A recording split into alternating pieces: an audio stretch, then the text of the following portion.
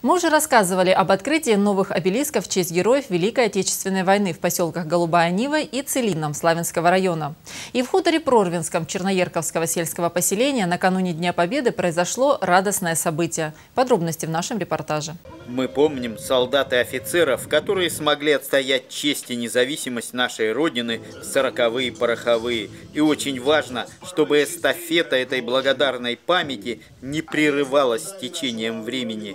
Огромное внимание увековечению бессмертных подвигов наших воинов уделяется в Славянском районе. После проведения больших реставрационных работ на торжественном митинге был открыт памятник в хуторе Прорвинском. И мне приятно, что вот мы продолжаем строить памятники, реконструируем памятники для того, чтобы прежде всего помнили мы сами, чтобы помнили наши дети о том подвиге советского солдата, благодаря которому мы сегодня с вами живем, трудимся, растим наших детей в духе любви к нашей малой родине, к нашей большой родине. Роман Синеговский поблагодарил ветеранов войны тружеников тыла за подвиги, совершенные в годы войны, за трудовые достижения в мирной жизни. Юные жители Черноерковского сельского поселения нашли искренние слова, чтобы почтить память своих прадедов-фронтовиков.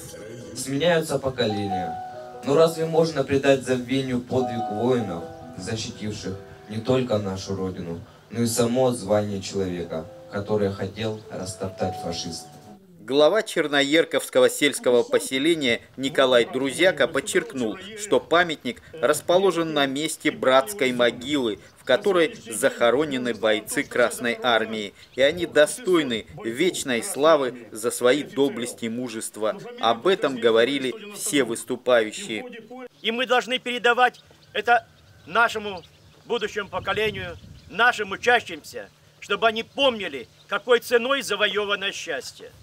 Здесь, в этой братской могиле, лежат воины, которые дали нам мир, счастье, свободу и процветание. Помните о них, никогда не забывайте. Минутой молчания почтили участники митинга, жители поселения, казаки, учащиеся, память павших героев. Затем состоялось возложение венков и цветов памятнику. Для меня большая честь участвовать в открытии этого замечательного памятника.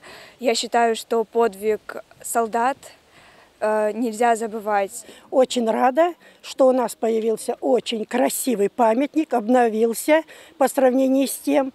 Спасибо всей администрации, и всем, кто принимал участие в этом деле, и мы очень довольны.